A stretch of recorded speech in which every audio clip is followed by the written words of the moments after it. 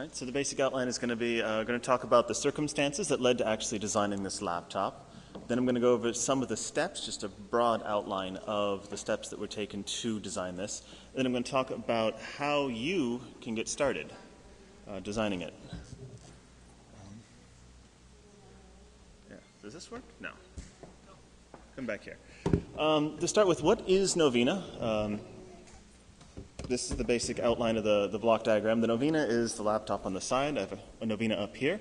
It is a quad-core, ARM-based, completely open laptop. It boots without any binary blobs, and the CPU diagram is there on the side. It's what's called a um, it's what's called a system on a chip. So the one CPU has uh, a whole bunch of different blocks in it. Uh, one CPU has a memory controller. It has what a PC would be considered the South Bridge and the North Bridge integrated on one CPU. Uh, the, the, this laptop was designed in Singapore with myself and Bunnie, who's on the. Oh, okay. This works. No, sorry. Nope.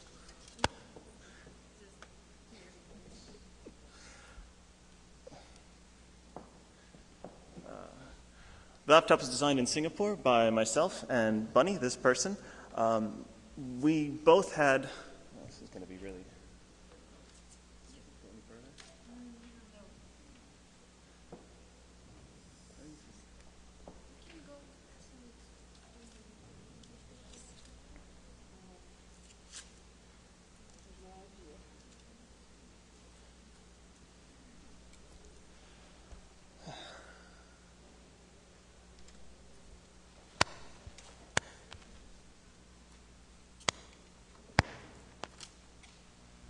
Right.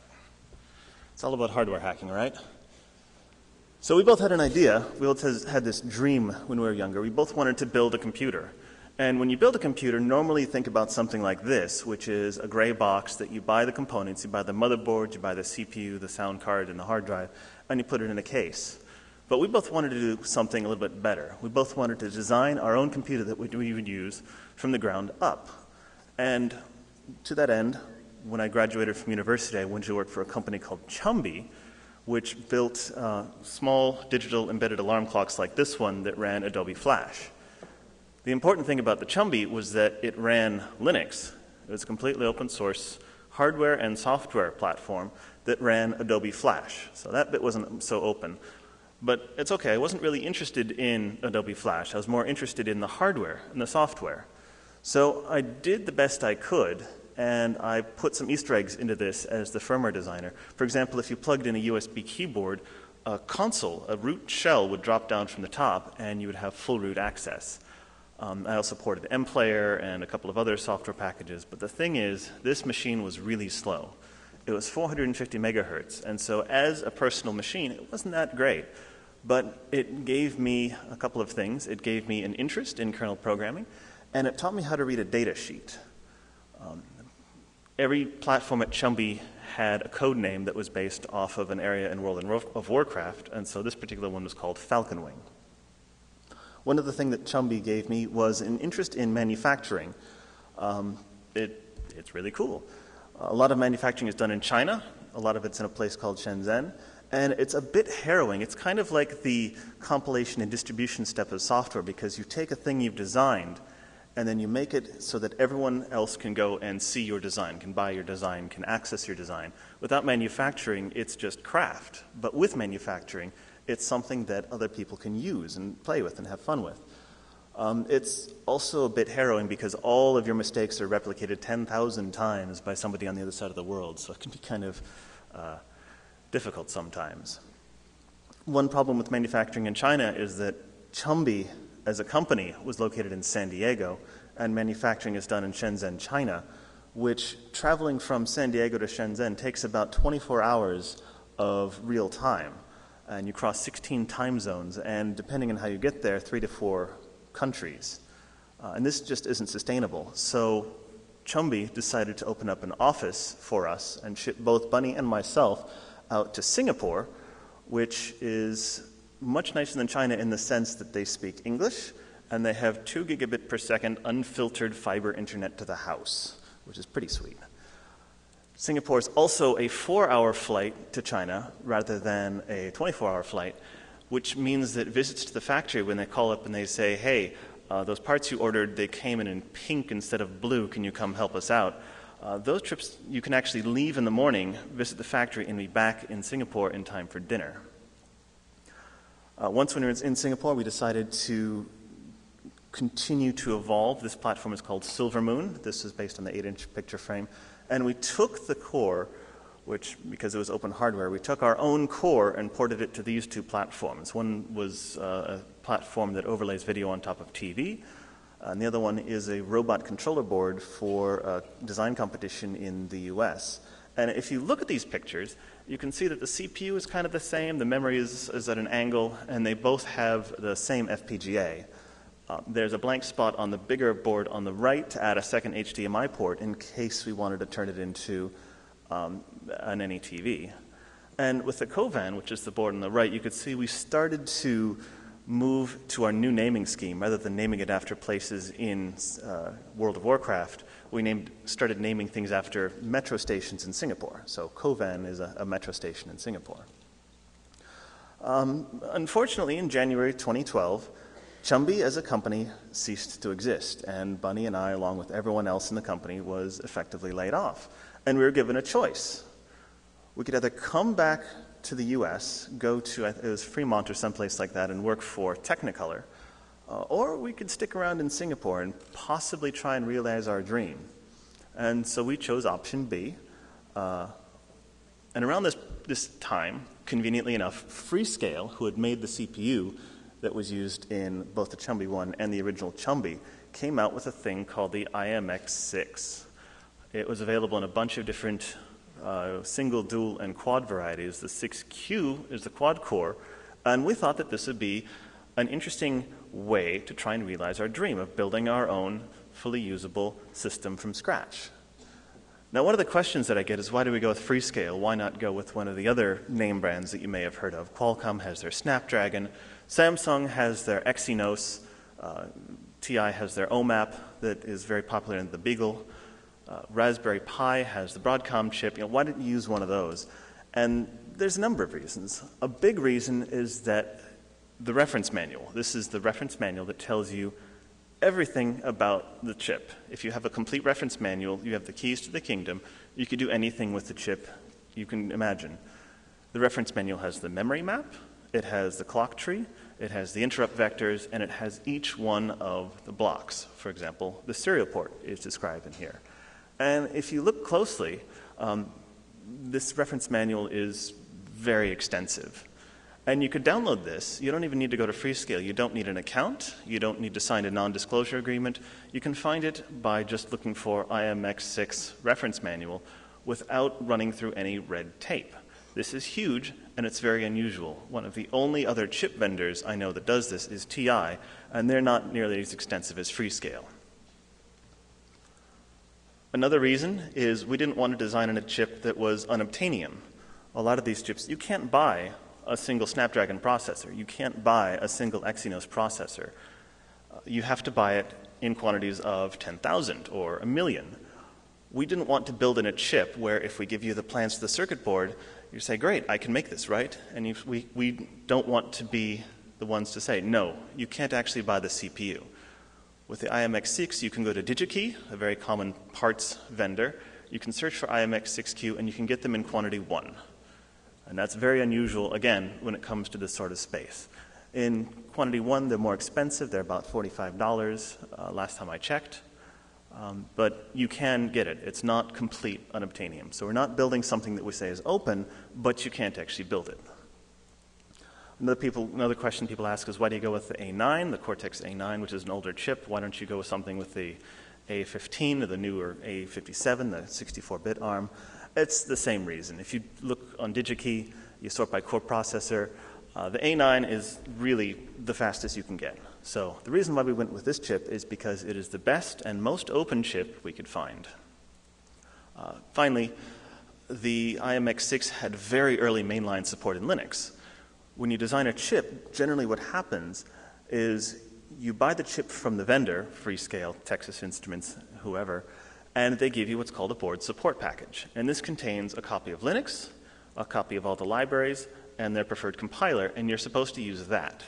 And it generally started out life as a Linux kernel, but it's just been mutated so much with so many proprietary vendor patches that it's not sustainable by anyone. It's not maintained by anyone except the vendor. So by going with mainline, we get to take advantage of community support and have support for this particular platform and really all IMX6 boards for as long as the Linux kernel is maintained. So this er, er, mainline support was completed in 2011. So before Silicon was ever officially available, it was available in the Linux kernel tree. And other people have the same opinion of, of Freescale. These are four example platforms that use the IMX6. Uh, the top two, the CuBox and the HummingBoard, are by a company called SolidRun that we do a lot of work with. Um, they're very good. If you ever need a, uh, the number two there, the HummingBoard, is a Raspberry Pi clone that instead of the Raspberry Pi CPU, it's a quad core, uh, 800 megahertz. It's, it's, it's a nice platform. I'd re- really recommend it. Um, so, January 2012, Chumby goes under. We think a little bit. We have a, a chat. We powwow. We decide that we're going to do this.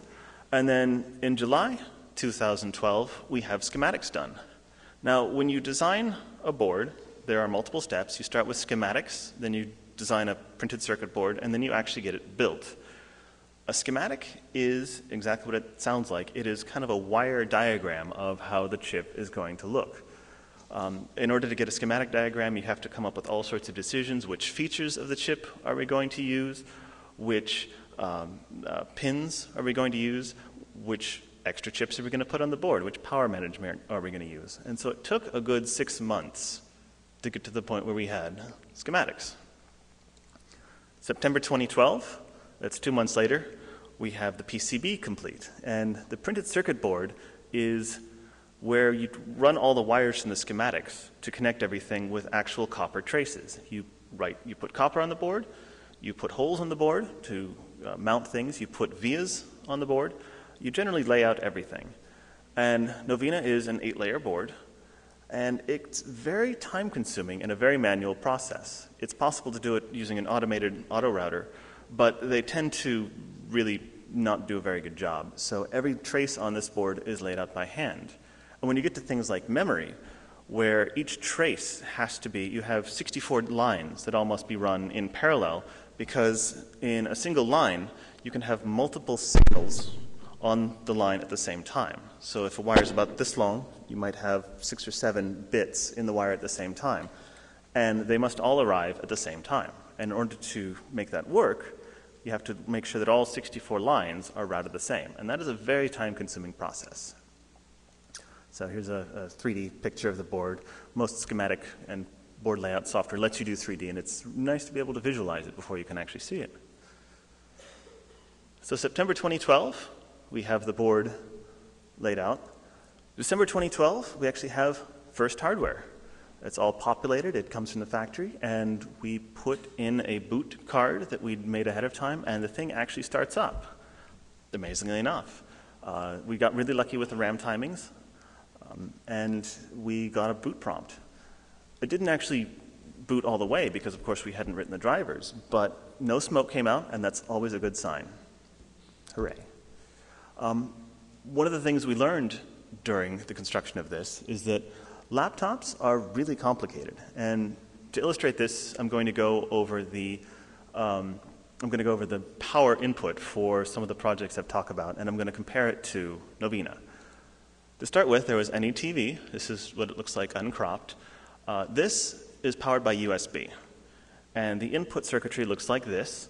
There is uh, a filter that removes some noise from USB, uh, and that's basically it. It takes 5 volts in, and you start up. Kovan, which remember was a robot controller board, has a battery pack, and it drives motors, so it's a lot more noisy. Uh, it also has a, a, battery charger, and we added an undervoltage lockout to make sure that it'll shut down if the battery gets too low. So it looks a bit more complicated. Novena looks like this, and its basic power input looks like this.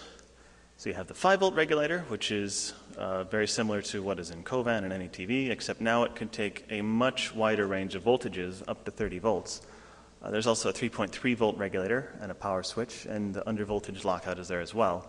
In addition, because it's a laptop, every subsystem has a power switch, because when you go into suspend, you want to turn off things like the hard drive and the audio chip, and each system has its own power switch. Um, everything else, we decided to move to a separate card called Senoko, and this takes care of all the battery management and things like that. It has a charger that takes voltage in and makes sure that the battery is not catching fire when it puts current into it, another desirable feature of a battery pack. Um, we have a gas gauge that measures the number of coulombs that go into the battery pack. It also makes sure that the battery voltage isn't too out of swing and also makes sure that the cells are in balance and that they don't charge each other, which again can result in a fire. In case you haven't realized, the failure mode for a battery pack is catching fire. Um, it also has a full 32 bit CPU to manage all of this and also manage things like hitting the power button, and um, there's a real time clock, and all these things are managed by this laptop called Senoko. Uh, it also has a shell. I mean, it's, it's got a multi threaded operating system, 36 megahertz, 16K of RAM. It's a whole other project in itself that we had to design in order to get a laptop. Uh, so we put this all together. Uh, one year later, December 2013, we presented with this.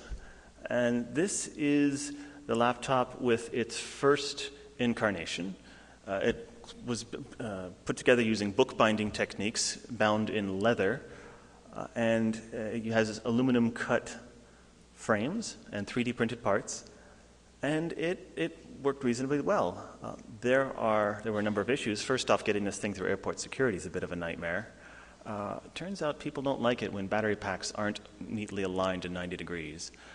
Um, but it worked. We got it there. We did a presentation and people really wanted to sell it. People said, hey, that's great. Can I buy it? And we said, no. But people said, but we really want to buy it. Can you do a crowdfunding campaign? And after we did our presentation, we had a group chat uh, with other people coming in and giving us information, and people convinced us there that there was a market, that people would buy it, that enough people would buy it that we should put in the effort to actually do a crowdfunding campaign. And so we did. We did the crowdfunding campaign through a company called Crowd Supply and we got funded. We asked for $250,000, and amazingly, we got $782,000, uh, which, is, which is huge. We weren't expecting anything like that. But the thing is, if you're trying to start a crowdfunding campaign and you want to do a hardware project, there are a whole bunch of things that you never think about that you actually have to design with a hardware project. Once you have the main board, that's just the beginning. You have to think of all sorts of other things, like a factory test. When you do a software project, you want to do a factory test. You want, when you do a software project, um, like a Rails project or a JavaScript framework or something like that, you do a unit test that tests each individual unit to make sure that you haven't broken code. Similarly, a factory test makes sure that the person who put this all together didn't accidentally uh, short out one particular section or didn't forget to put a chip in or put a chip in upside down. A factory test must test every single thing on the board which means you're basically designing your product twice once to write the drivers and once to test all the, the, the bits. We also had to come up with plastics, and again, this is a thing that you don't normally think about. Before we had 3D printed parts, but eventually we decided to get injection molded plastic. Uh, every single bit in here has to be injection molded, or cut, or ordered from some other thing. The, the factory that we dealt with, we were trying to get them to order these, these spacers. They're up there uh, the, on the right on the bottom, these spacers to, um, to, to keep the boards from touching each other. And they couldn't find spacers. And they said, well, we'll just 3D, we'll just injection mold it, no problem. Okay, now we're in the business of selling injection molded spacers. That happens. Uh, you also have to come up with other components and source every one of these. You need to source, uh, we had to source the, the bezels, we had to source springs, we had to support, source clips, uh, get these all CNC milled. These are just things that you don't normally think about. Um, you have to source components, and the way it's done is you go into China, and there are these huge markets that just look like this. It's floor after floor, block after block of these markets that are full of parts. And this is even if you buy a ticket and a visa to go to China and you just walk around these markets, that alone can usually be enough to save you. Uh, usually, that's a money saving adventure because when you buy a single resistor from DigiKey, they can be anywhere from 1 to 10 cents. But in these markets, you can buy a reel of 10,000 resistors for $2. So if you're ten, spending 10 cents per resistor and you go here, you're going to be saving $1,000 an hour just walking around. And that is one of the big secrets to cost down, is just walk around these markets, find resistors, and buy them. Unfortunately, uh, these markets are going away in favor of Taobao, which is kind of like eBay meets uh, Amazon meets uh, flight uh, ticket ordering. It's basically everything is available on Taobao. Uh, and this is me costing down our Wi Fi card. Um, you just type in the Wi Fi part number and then you find it's a vendor. If you've ever used Alibaba or AliExpress, those are the English versions of this site. Uh, they tend to mark it up 2 to 3x, so if you can get it on the Chinese site and you can get somebody to ship it to you, that's usually cheaper. But a lot of times, the factory, when you order a part from factory, they'll just go to Taobao and buy it from there and save you money.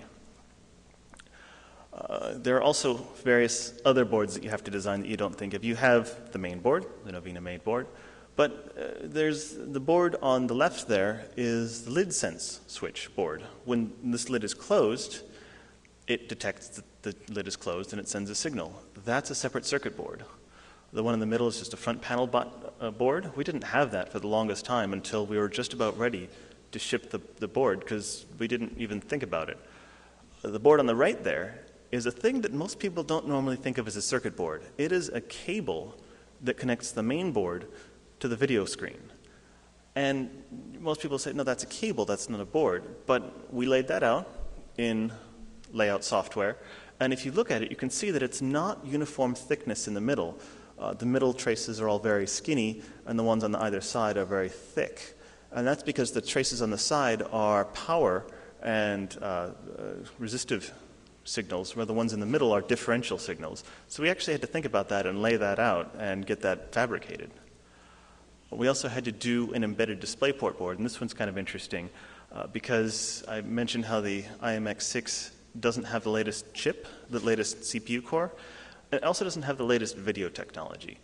Most previous generation screens are connected through what's called low voltage differential signaling, LVDS. Uh, if you have a thick laptop, uh, the T60s probably use LVDS signaling. Um, that's what this CPU can output. But most modern generation panels, such as uh, this one, and I see a couple of Apples in the audience, and iPads, uh, they all use what's called embedded DisplayPort. And it's the exact same DisplayPort that you get when you plug in a monitor, it's just in an embedded form. And so we had to come up with this board that converts using this chip, it's an IT6251, to convert from LVDS to EDP. Um, and it was a bit difficult to find this. Uh, this is the first generation of the board, uses a completely different chip. Uh, we asked our factory, do you know of any boards that do this? And they came up with this one which was really not very sustainable. I mean, this picture is kind of blurry because I had to dig through old photos to find this.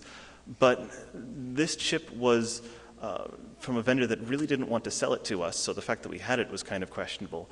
Um, and it didn't have a very open reference manual. Additionally, we were overclocking it by about 60%, so that was not very ideal.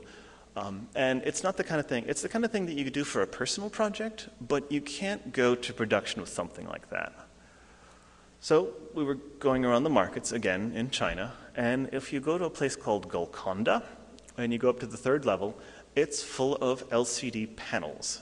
It's just a wave of LCD panels. There are so many panels there. If you need any panel in any shape or size, it's going to be there.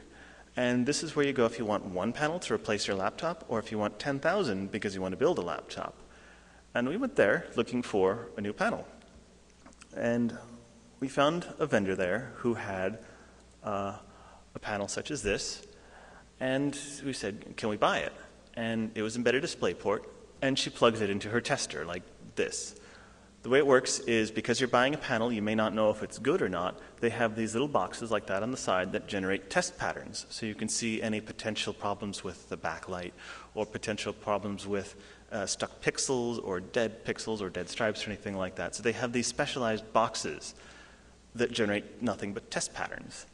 And this woman had a test pattern generator that was LVDS, and somehow she plugged in an EDP monitor. And we said, wait a minute, that's exactly the same thing we want. Can we see what your setup is? And she said, Sure, this is what I use. We opened it up and we found this little tiny board in there that was doing the conversion. Wow, that's amazing. Can we buy that board? We said. And she said, No, it cost me $400. You can't buy it. So somebody's making a living selling $400 LVDS to EDP adapter boards. Um, well, maybe we could just figure out what chip they're using and put that in our board. But if you look closer, um, somebody has actually scraped off the surface marking of this chip because they don't want anyone else to build $400 adapter boards. Uh, that was a bit of a problem. But if you look at a picture like this, you can generally tell which pins are ground, which pins are power. You can tell which pins are kind of signal. Uh, and from this information, you can do an internet search looking for chips that match this. Uh, and hopefully, you can find something that, that's similar. And through this, we actually managed to find the chip that we use now, the 6251, that is available for much cheaper than $400. It's about six. Uh, and we put that on the board. So this sort of costing down and uh, exploring the market is really important if you want to build a laptop like this. So let's say you want to do something like this. Where do you start? Well, this is open source. You start by copying somebody else. Everyone does it. We have source code up for our motherboard. We have source code up for our battery board, Senoko. We have all of our source code, all of our schematics. Everything is available. If you're doing electronics, generally, uh, the reference manual for whatever chip you have will have a schematic like this. And I recommend just copy this schematic because it is guaranteed to work. Don't try and understand what you think is going on and then design something completely different. Start with the schematic because it's probably working because it's coming from the vendor. Um, a lot of times they'll even provide reference. Uh, this is from a, a, broadcast, an Internet of Things type device that I'm working with. Uh, and they call out radio frequency regions, what it should look like on the circuit board. They'll give you the circuit board. So they'll give you the printed circuit board schematics. They'll give you the um, printed circuit board layout, Gerber files. They'll give you everything you need. Copy what they've done because it's going to work. Secondly, don't start big, start small. USB is very easy to route. It's two wires, D plus, D minus, 5 volts, and ground. It's very easy to route, and if you're designing a device to plug into something, you can plug into anything with USB. If you're designing a computer or something like that, and you want to plug USB into it, then you can plug anything you can imagine into the device you're designing. USB is huge, USB 1.1 and 2.0 are very easy to route, uh, and there's really not much that can go wrong. Once you've done something like that, you can then move up to something a little bit more complicated. HDMI is just like running four USB wires in parallel. It's just four differential signaling lines instead of just one. Uh, plus some other things like hot plug detect, which is just a line that's high. Um, but it's, it's very simple. Start simple, then build up um, make mistakes. Everyone makes mistakes, and this particular slide is an excerpt from the uh, RGMII manual, which is the manual that defines the physical chip interconnect for if you're doing gigabit Ethernet. Um, it's, a not, it's a very dry subject, but uh, in fact, we didn't even read this manual until after we'd laid out the board. And there's an interesting note in here. The top two columns on that table define clock skew. So remember how earlier I said you need to run wires in pairs to make sure that the speed of light matches, so the signal is the same when it gets to the end. Um, well, it turns out that with RGMII, when you're talking to gigabit Ethernet, you have to make it so that the clock line gets there two and a half nanoseconds later than the actual data. Um, and this makes no sense whatsoever. If anybody is here from HP, I would like to lodge a complaint. Um, we run them, ran them together and we booted it and it didn't work. Uh, turns out everyone makes this mistake, and uh, because it's such a common mistake, you can fix it in software. There's a register you can tweak in most chips that lets you adjust it so you can add this delay rather than running uh, 10 centimeters of extra copper for this line, you just tune a register setting. So even if you make mistakes, a lot of times it's not catastrophic. Having said that, don't route power to ground, because that is pretty catastrophic. Um, fortunately, you're lucky in this, in that most design software will prevent you from doing it. This is a very simple schematic where I route power to ground, and it doesn't validate. So, in this sense, software will save you here. Software will prevent you from routing power to ground and turning your board into a very expensive Christmas light. Um, this is getting a little bit more practical now, but when you're building boards, build five at a time. When you're prototyping, a lot of times you want to build one. It just it seems like the natural thing to do. But if you're getting it done by a board house, a lot of times to build one board is something like $150. To build two boards is $152. And to build three boards is $154. So it, the first board is very expensive. Every subsequent board is a little bit expensive. And I say build five boards because two will not be assembled correctly. They will not work for one reason or another. One, you're going to break. You're going to drop it, you're going to accidentally f- delete flash, you're going to solder it and it's going to come apart, or you're going to try and rework it and it'll fail. You're going to lose one board just out of incompetence. Um, but two will work. Two boards will work out of your initial five, and those will be the ones that you work on while you rev- revise the hardware. So, those two boards, especially if you're doing an Internet of Things application or something where you need them to communicate, five is the magic number. Build five, and you'll get two out of it, at least with initial runs. And finally, you're all here, so you obviously enjoy this sort of thing. Have fun. If it's not fun, don't do it. If you're having fun, do it. It's the number one rule. So I'd like to thank some of the people in our community who have been just completely awesome when it comes to this. Uh, Sorcerer, uh, Bunnie did, does a lot of the schematic layout, and he uses a proprietary software called Altium that can be had for initial investment for the low value of uh, $5,000. Uh, he wrote a package, a Perl script that converts Altium to KiCad, and it works really well. So much thank you to Sorcerer. A person named Job submitted some patches to the embedded DisplayPort chip that helps it uh, come up more reliably. This person in our forum, Macallan, um, I, I love it when people copy our software. He said, Hey, so you have the schematics. Would you mind if I build them?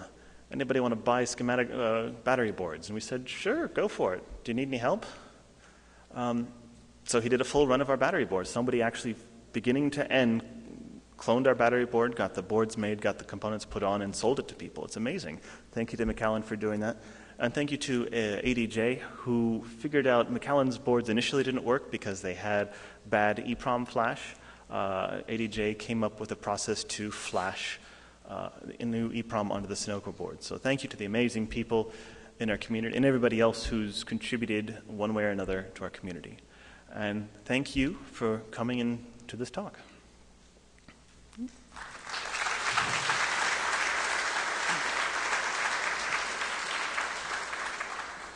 I guess, do we have any questions?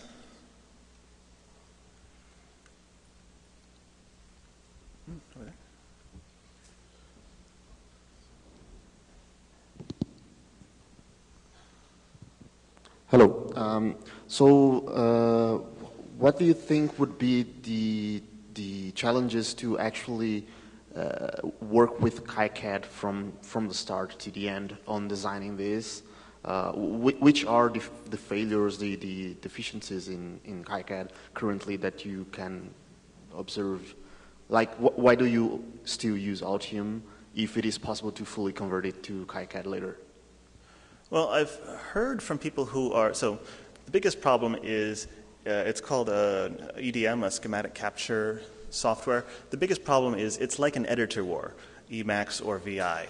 Uh, everyone really loves using the program that they started with, and a lot of people in universities started with Altium or started with um, PADS or one of these other software packages. And so a big problem is people aren't familiar with KiCad. Another problem is, until recently, it hasn't been very good, honestly. And it's still very different from a user perspective uh, than other software packages. For example, the concept of a project is still very weird and one that's very specialized in terms of electrical engineering, but is very unfamiliar to somebody who's not used to KiCad. So it's a combination of the design paradigm and the fact that people aren't used to it. Um, there are also a number of specialized routing modes that until recently weren't available in KiCad, but those are now available, uh, and uh, it's, it's getting a lot better. I remember at the CCC Congress in Germany when you first, uh, along with Bunnie, showed off the project, and it was very wonderful for people to see a working laptop that you built yourself. And since you have it here, I was wondering if you could hold it up so that people could see uh, what you've done and that you have a working laptop here in the room of your own design. Sure. I mean, if anybody wants to come up after the talk um, or out in the hallway, feel free.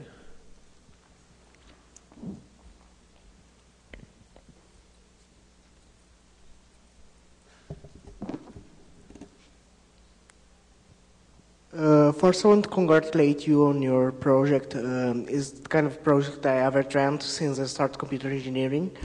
Um, but I, want to have a question. Um, I see you use ARM CPU. That's quite proprietary instruction set architecture. So, do you have any plans on designing your own SoC using maybe sending a foundry to made an ASIC or maybe using uh, FPGA, that, that, kind of in between midway that Xilinx provides for provide taking a project from FPGA to to ASICs. Uh, do you have any plans on regarding the SoC? Because the SoC is still proprietary. Oh, the SoC is proprietary, and the problem is there is no way to get a non-proprietary system on a chip.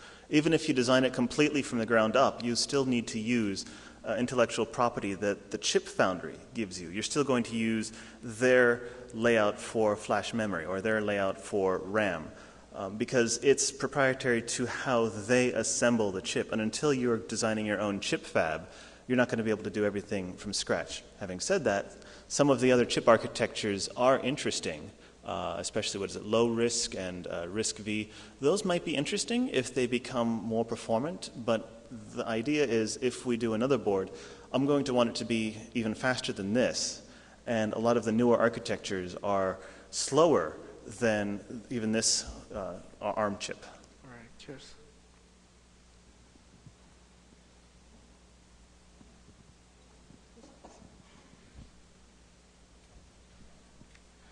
Hello. Uh, my first question was already answered now that you said about the proprietary licenses. But I want just to know about uh, how much uh, notebooks have you, how many have you sold to now, and about the market that people was interested. Uh, what happened at the end of the project? Well, um, one of the problems I mentioned earlier that you can get CPUs quantity one for about forty-five dollars. Um, we get it for a little bit less than that, but not much. One of the problems with low volume production is that prices are very expensive, and as a result, the Novena laptop is very expensive. And at the end, it's not a super modern laptop. It's about as fast as a 10 year old laptop, but it's good enough for most things. 10 year old laptops are good, uh, good enough then. Uh, if you're not doing high end 3D games, thanks to Moore's Law, it's perfectly acceptable to use that today. Uh, in terms of units sold, I, it's I want to say about a thousand, maybe it's 500. It's it's definitely below the 1K mark. Whereas most other companies to, to produce any sort of laptop would never sell anything below the 100,000 mark.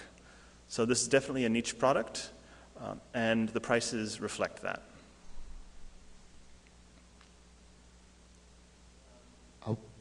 Uh, correct me if I'm wrong, but I had the impression that there is also an FPGA on board. Uh, can you talk us uh, a little bit about that? Uh, that's correct. There is an FPGA on the board, uh, and we have used that for other projects. It makes this laptop really great for hardware hacking. Um, there are a couple of issues. It's a Xilinx. It's an LX45, so it has a lot of logic cells. But FPGAs are a bit of a hot button topic when it comes to free software because all of the FPGAs, with the exception of the Lattice iCE40, um, require a closed source toolchain. And even if we were to put a Lattice in here, they don't have a high speed SerDes, so we wouldn't be able to do things such as HDMI video or um, PCI Express or any of these other things. Having said that, the FPGA is very useful for doing emulation of mem- uh, flash memory. We did a, a one off project to see if we can get an oscilloscope working. Um, we did uh, a project where uh, we actually use a Novena to program devices in the aspect uh, in a fa- factory for another line of products we do. So the FPGA, because it is a reconfigurable block of silicon, allows us to do a lot of interesting things but it still requires you do development on an x86 machine using closed source software.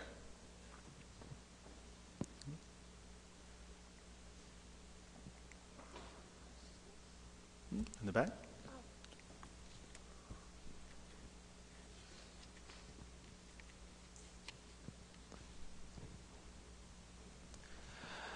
Hello, today we have a preoccupation with um, proprietary blobs on my computer. So because the difficult to acquire hardware, we don't have much solution to remove proprietary blob. So how I can buy this type of hardware you sell that's free of proprietary blob? I'm sorry, um, was the question how can you buy it? Yes, what you you are selling notebook?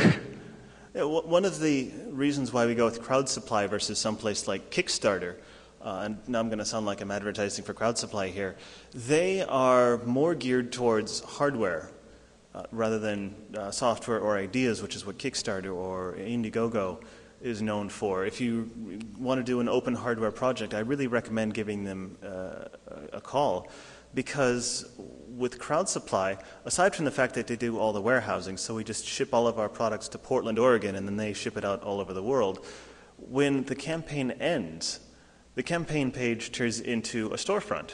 So before the campaign ended, there was a fund us button, but now that the campaign has ended, it's either a pre order or a add to cart button. And at least uh, I believe we have mainboards in stock. We don't have the rest of it in stock, but you can buy right now, crowdsupply.com, uh, just a main board. Uh, and there are people in our forums, uh, I mentioned McAllen, who was working on uh, building battery boards. I think he might be doing a, another run, I don't know.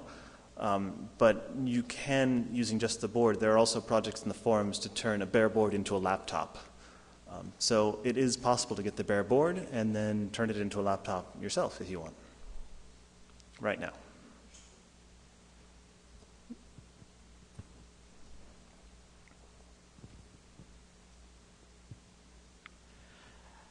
We can see from here that the form factor of the laptop is a bit on the backwards.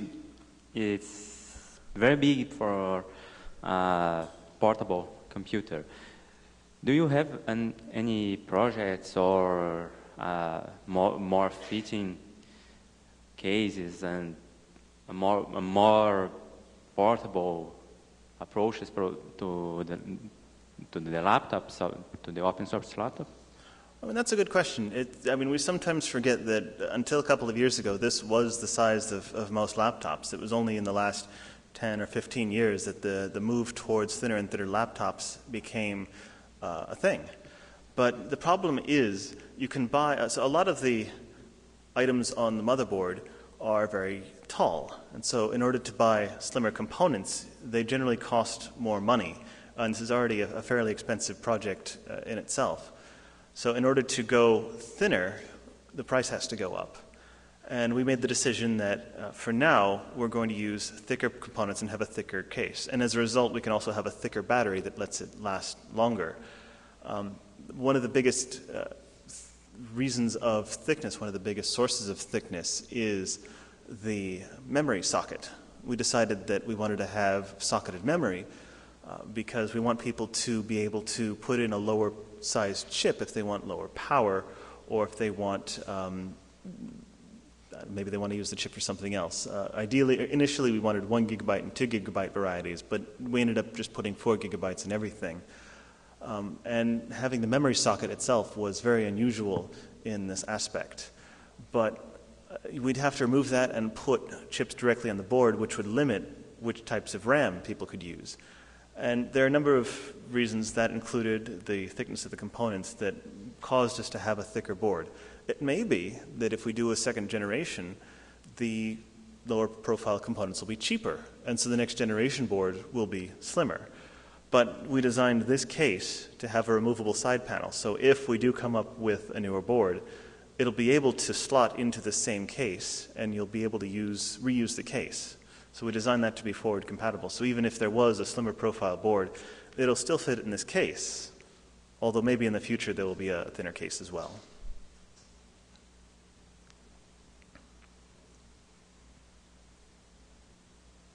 Okay. I think that's time. Thank you for coming.